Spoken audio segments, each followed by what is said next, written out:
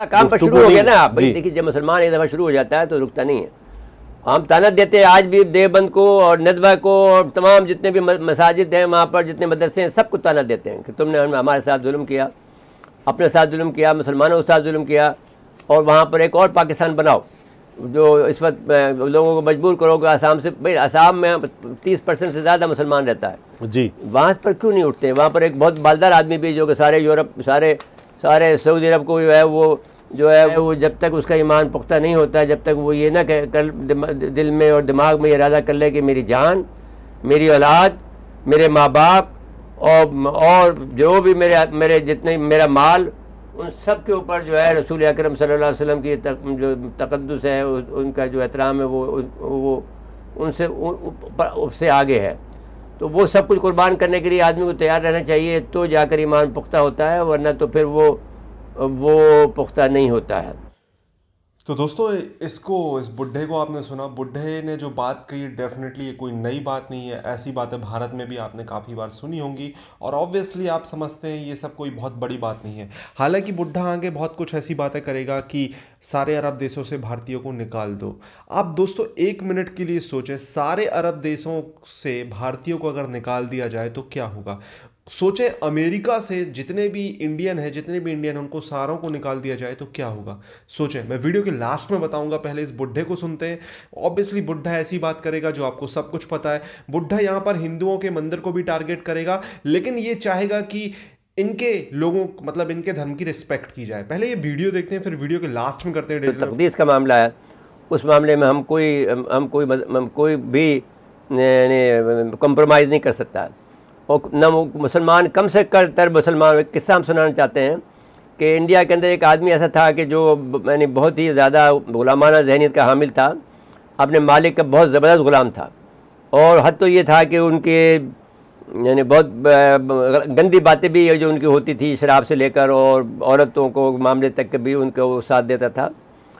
लेकिन यहाँ तक उसके ख़ानदान तक में भी उसका मामला आ गया इज़्ज़त आबरू का वहाँ भी वो वो तक बर्दाश्त कर गया। इस आद, इस तरह का वो मुसलमान था कि जिसका जो इतना कमज़ोर मुसलमान था कि वो अपने आका के लिए जो है अपने घर के जो है जो है ख़ानदान के लोगों की इज़्ज़त आबरू का भी ख्याल नहीं करता था। लेकिन जब रसूल अक्रम का कि उसके ख़िलाफ़ गुस्ताखी की तो उसने अपने मालिक को मार दिया।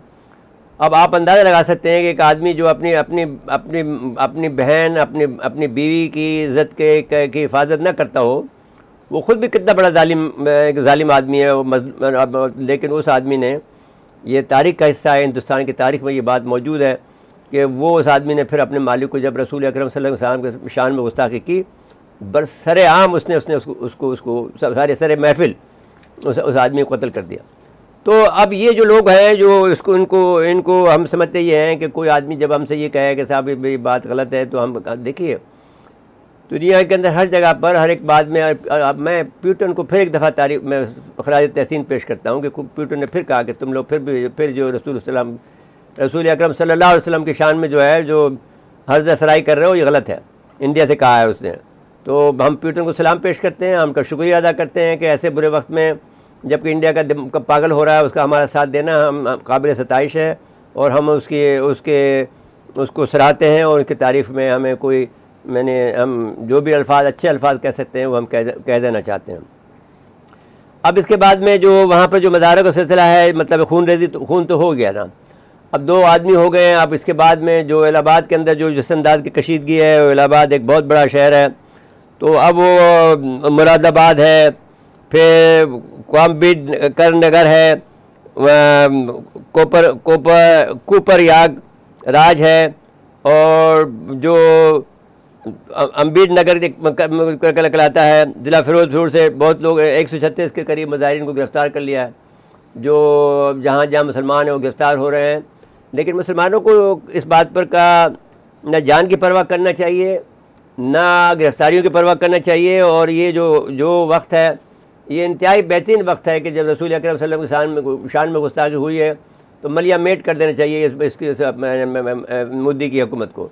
हमारे पास इसके अलावा कोई चारा कार नहीं है और हमारे पच्चीस करोड़ मुसलमान हैं, वो कम नहीं है और अगर आप आप ज़रूरत पड़ेगी और जैसे जैसे तादाद आप पर जुल्म सितम बढ़ेगा, वैसे वैसे सारे दुनिया के मुसलमान जाग जाएँगे और भारत का जो है, नात का बंद कर देंगे, भारत की जो है तजारत बंद कर देंगे, भारत का लेन देन बंद कर देंगे, भारत के जितने भी आदमी बाहर रहते हैं, कोई एक करोड़ से ज़्यादा आदमी जो है मैं- जो मशरक़ वस्ती में मैंने मैं, मैं, काम कर रहे हैं कोई तैंतीस लाख तो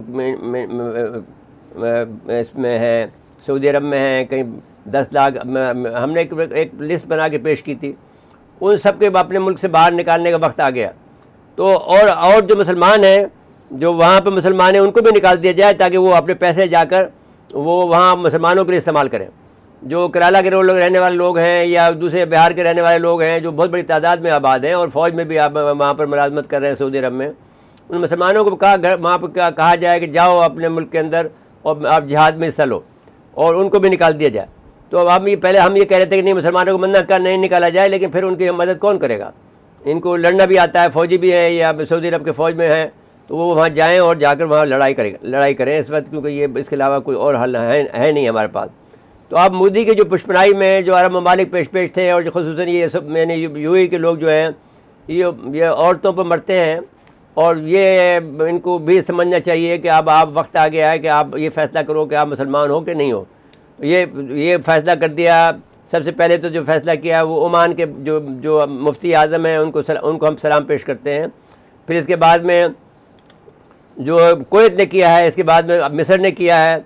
सऊदी अरब ने भी किया है, लेकिन ये सऊदी अरब ने बहुत हल्की आवाज़ में किया है, लेकिन ये इनको बहुत ज़्यादा बहुत मैंने सख्ती के साथ में करना सबसे ज़्यादा यू के लोगों को करना चाहिए।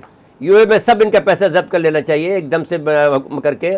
और जो प्रोटेक्शन आपको चाहिए, वो पाकिस्तान से मांग लें।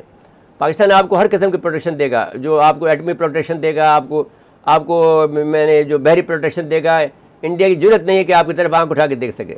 जी जैन साहब चले आगे कोई बात मेरे साहब एक हफ़्ते से ऊपर हो गया लेकिन अभी तक कोई फैसला कौन इकदाम कहीं नहीं बात सिर्फ़ शोर हुआ है बस। नहीं नहीं अब देखिए आप अब अब ये मामला खून पे आ गया है दो आदमी शहीद हो गए मैं दूसरे मुल्कों की बात कर रहा हूँ इस्लामी मुल्कों की बात कर रहा नहीं वो नहीं ये बात आपको यकीन दिलाता हूँ कि मैंने वो देखी है तस्वीरें कि जहाँ पर उन्होंने प्लास्टिक लगा दिया है कि ये ये इंडिया का हिस्सा बैन है क्लास लगा दिया और उसको निकाल निकाल के फेंक रहे हैं। तो अब इंडिया में तो अब वहाँ तो बेगैरती की हद है कि मैंने यू में तो पेशाब की बोतलें होती हैं वो तक बिकती हैं गाँव के गाँव के पेशाब की बोतलें। बेगैरत लोग कैसे किस्म के मुसलमान हैं ये लोग जो अरबी लोग जो हैं यू के? मुतहदा अरब अमार के दुबई के इजाज़त कैसे देते हैं और और, और वहाँ पर मंदिर बना के दे रहे हैं साहब वहाँ पर खुद उठा के लेके आ रहा है घंटी मंदिर की। शर्म करो। किस कदम के मुसलमान हो तुम? बहरहाल चले देखते हैं फिर आगे कोई बड़ा काम होना चाहिए। क्योंकि नहीं, सिर्फ़ नहीं बड़ा काम पर शुरू हो गया ना। आप देखिए जब मुसलमान एक दफ़ा शुरू हो जाता है तो रुकता नहीं है। हम ताना देते हैं आज भी देवबंद को और नदवा को और तमाम जितने भी मसाजिद हैं वहाँ पर जितने मदरसे हैं सबको ताना देते हैं कि तुमने हमारे साथ जुल्म किया अपने साथ जुल्म किया मुसलमानों के साथ जुल्म किया और वहाँ पर एक और पाकिस्तान बनाओ जो इस वक्त लोगों को मजबूर करोगे आसाम से भाई आसाम में तीस परसेंट से ज़्यादा मुसलमान रहता है। जी। वहाँ पर क्यों नहीं उठते? वहाँ पर एक बहुत मालदार आदमी भी जो कि सारे यूरोप सारे सारे सऊदी अरब को जो है वो जो है वो सप्लाई करता है खुशबू। जी। वो बहुत ही मालदार आदमी है। तो वो मेरे उससे फ़ोन पे बात नहीं हो सकी थी। जब मैं वहाँ जाता था तो लेकिन बहरहाल मैं उससे बात करने का ख्वाह ख्वाह हूँ। मैं कोशिश करूँगा कि उसको फ़ोन पे बात करूँ और उसे कहूँ कि भाई तुम मैदान में कूदो तुम पे हराम है तुम्हारे पर एक पैसा भी खर्च करना हेयर आफ्टर तुम सारा पैसा अपने मुसलमानों पर खर्च करो। तुम अपने अपने ज़ात पर भूखे रहो लेकिन उनके अपने मुसलमानों पर खर्च करो उनको उनको उनको उनकी मदद करो जहाँ तक मदद कर सकते। हो। बड़े बड़े अमीर लोग हैं जैन साहब देखिए जो। अपने बच्चों को एक दफ़ा मैं राय रियाज था मेरा दोस्त जो वहाँ का कमिश्नर था इंडिया में हमारा वो एक दिन मुझे कहने लगा दावत आई मेरे पे खाने की मेरे जो मैं गया था तो मुझे दावत दी गई। तो मैंने इसे राय रियाज को कहा नहीं आप मेरे साथ चलें। ये वहाँ कमिश्नर थे उसके इन्फॉर्मेशन के। जी। तो वहाँ गए तो जो अपने बेटे को उसने रोल्स राइस दी तो वो हैरान रह गया, वो कहता है, मैं तो ये समझता था कि मुसलमान जो है, ये सारा रक्शे चलाते हैं, जो बिहारी लोग हैं रक्शे चलाते हैं, ये लाते हैं, ये तो इतने अमीर लोग हैं। और जो जैन हमने खाना खाया, वो खाने का कोई मुकाबला नहीं पाकिस्तान के अंदर, जो खाना उन्होंने खिलाया हमें। उन्होंने बाकायदा एक मतलब जैसे दुकानें खोल के बाज़ार, एक एक एक बाज़ार जो कि वहाँ पर टांगा खड़े होने का या रक्षा खड़े होने का बाज़ार था, उसको सारे रात को एक एक दिन मैंने दिन से सजाना शुरू किया और वहाँ पर स्टॉल बना दिए। कि साहब आपको बिरयानी यहाँ मिलेगी यानी पुलाव यहाँ मिलेगी। एक बुफे बुफे बना दिया मतलब। नहीं नहीं उन्होंने बाकायदा स्टॉल बना दिए। अब जाके वहाँ से ले लें। तो वो जब उसने देखा अपने राय रियाज ये कहता था कि इन मुसलमानों को पहले बहुत तकलीफ़ में हमें नहीं करना चाहिए इनके साथ में इनको वो बड़ा हमदर्दी रखता था मुसलमानों के साथ इंडिया। जब उसने उनकी उनको देखा कि उसने फिर रोज़ राइस दी आप बेटी को अपनी अपनी बेटी को जो विदा करने में जिनके साथ हम गए थे और बहुत इज़्ज़त से हमें मिले रहा रियाज को तो होश होश ही नहीं था। और हमारी तो बहुत कदर करते थे। तो जब वो उसने फिर, अब जो रोज़ राइस अपने बेटे को दे सकता है, एक आदमी ऐसा है हैदराबाद दक्खन का, कि उसने हर आदमी मैंने जब उसकी बेटी की शादी हुई तो पूरे जो उनतीस के उनतीस सूबों के वजरा अला के लिए जहाज़ भेजा उसने, अलग से चार्टर जहाज़ भेजा, इतने तो ये वीडियो यहाँ पर होता है ख़त्म आपने ऑब्वियसली इस बुढ़े को सुना, और बुढ़े की मानसिकता ऑब्वियसली इंडियन सब कॉन्टिनेंट के मुसलमानों की मानसिकता है, ये सच है। अब इन लोगों को काफ़ी मतलब एक गुरूर रहता है कि हम ये हैं, हम वो हैं, हमने हुकूमत की, फलाना ठिकाना, अरबी अरबी में वहाँ इंडियन जाकर काम करते हैं। आप दो मिनट के लिए सोचें, अगर यूएई से इंडियन निकल जाएँ, इवन कतर से इंडियन निकल जाएँ, सऊदी अरबिया से मतलब जितने भी अरब कंट्रीज़ हैं, यहाँ पर इंडियन जाकर काम करते हैं तो ऑब्वियसली वहाँ की अर्थव्यवस्था को बहुत ज़्यादा सपोर्ट करते हैं। यहाँ के इंजीनियर जाते हैं, यहाँ के डॉक्टर्स जाते हैं, यहाँ की स्किल्ड फुल लेबर जाती है, जो कि वहाँ पर अगर निकल जाए ऑब्वियसली पाकिस्तान के ये गधे छाप लेबर तो इनसे कुछ आता ही नहीं है। आपको भी पता है कि कितने स्किलफुल लेबर हैं ये लोग। इन्हें इन्हें सलवार कमीज पहनने के अलावा और कुछ आता नहीं है ज़्यादा, बस और थोड़ा बहुत ईटे गारे का काम कर लेंगे, यही कर लेंगे।